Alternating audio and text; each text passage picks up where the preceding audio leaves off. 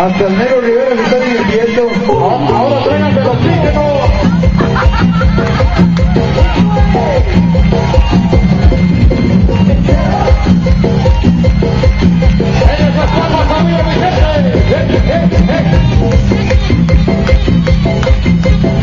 Y el señor Alfredo también está divirtiendo.